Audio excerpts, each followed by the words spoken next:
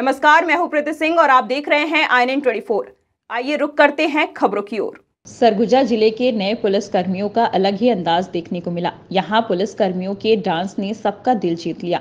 दरअसल ये मौका था पुलिस ट्रेनिंग स्कूल में सातवें दीक्षांत समारोह का, जहाँ पुलिसिंग आउट परेड का आयोजन किया गया था, जिसके बाद डीजे की धुन में पुलिसकर्मी जमकर थिरकते नज़र आए। अलग अलग गानों में इनकी मस्ती और डांस ने सबका ध्यान अपनी तरफ़ खींच लिया। पीटीएस अधीक्षक ने बताया कि इन्हें इस तरह से ट्रेनिंग दी गई है कि ये किसी भी जगह में जब जाकर काम करेंगे, तब पुलिस कर्मियों को आने वाले चुनौतियों का सामना कर सकेंगे। वहीं ट्रेनिंग के दौरान अलग अलग विषयों में बेहतरीन काम करने वालों को प्रमाण पत्र भी दिया गया है।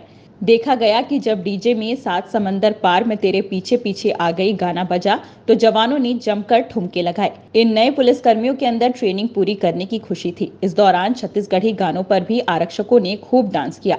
आसपास के लोग भी मौके पर उन्हें देखने पहुँचे थे। ज्ञात हो कि यहाँ अलग अलग जिलों के 312 आरक्षकों ने ट्रेनिंग पूरी की है।